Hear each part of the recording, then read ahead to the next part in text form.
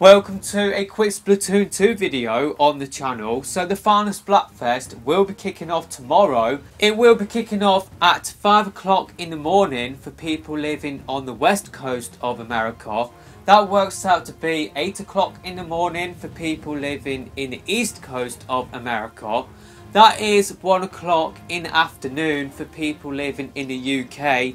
2 o'clock for people living in the rest of Europe the timings is the same like pretty much all around the world so we will be kicking off Splatoon 2's final Splatfest at the same time everywhere around the world. It's not like how we have had it before where Europe has started a few hours earlier to North America or vice versa. This is the same time so we will all be starting the final Splatfest at the same time, which means that the final Splatfest will be ending at the same time everywhere. It will be ending the same times on Sunday, the 21st of July, and that means we will be getting the results pretty soon after when the final Splatfest does end because normally we get Splatfest results a couple of hours after when the Splatfest is done.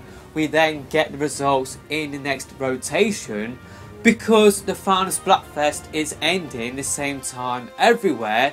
It means that we will not have to wait for like 5 or 6 hours to get the final Splatfest results. I know that has been the case for quite a lot of your Splatfests in North America when they have been joined up with Europe you have had to wait for quite a while to find out the results.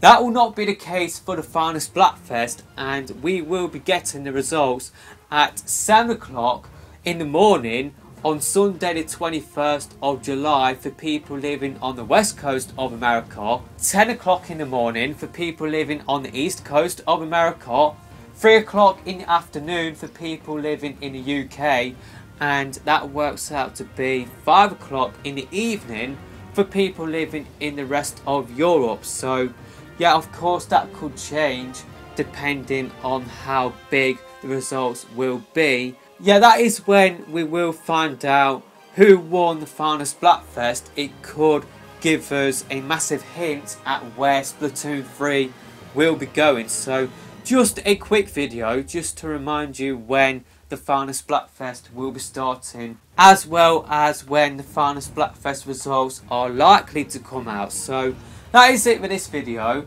and yeah, we'll see you in another video soon, hopefully.